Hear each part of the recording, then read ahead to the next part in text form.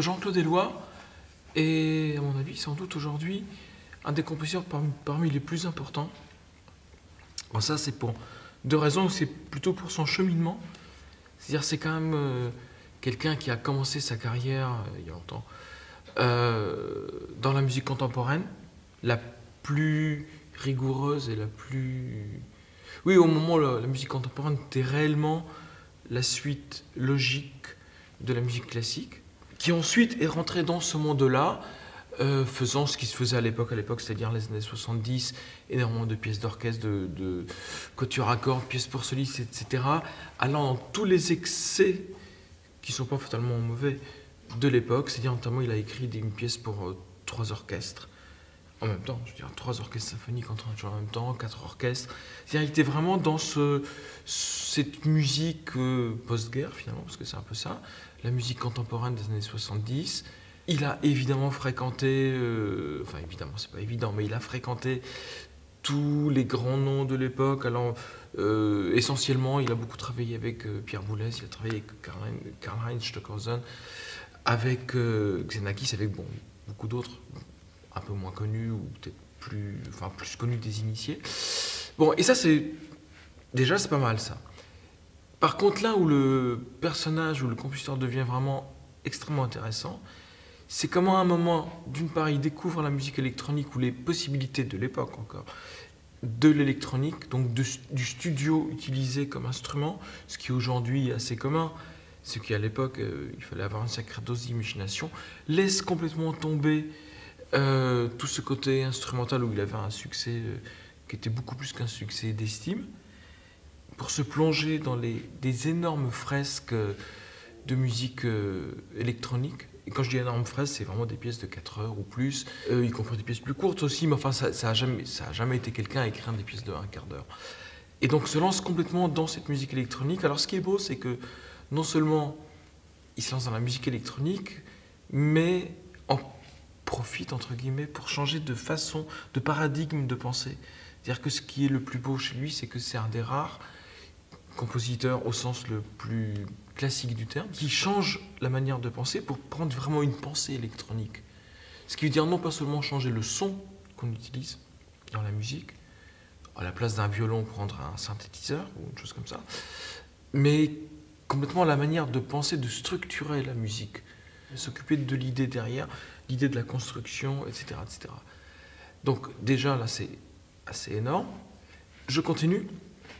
Euh, après, ce qui est assez beau dans, dans, dans l'histoire de, de, la vie de Jean-Claude, c'est qu'à un moment, il se fait, pour des tas de raisons euh, musicales, personnelles sans doute aussi, euh, mais aussi politiques beaucoup, une énorme traversée du désert.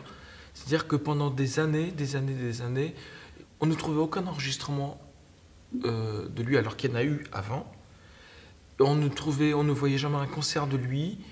En fait, c'était quelqu'un qui était devenu complètement invisible et même euh, mis à l'écart. Euh, volontairement, c'est pour ça que je dis que c'est politique.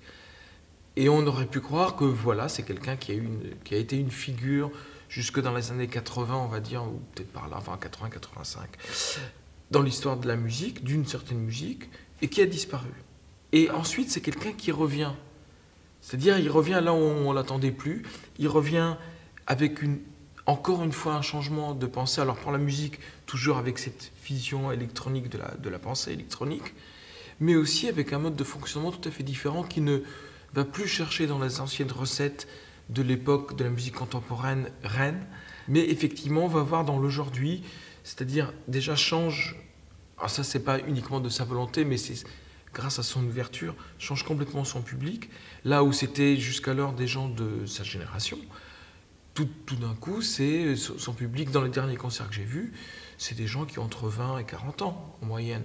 C'est-à-dire un public tout autre, venu d'une toute autre pensée de la musique, donc venu de la musique électronique d'aujourd'hui, c'est-à-dire euh, en, disant très très vite des choses qui sont nées après la techno, post-techno, techno intelligente, et puis à coup la techno ou l'ambiance débarrassée de la prégnance du rythme et de la mélodie, c'est-à-dire la texture électronique.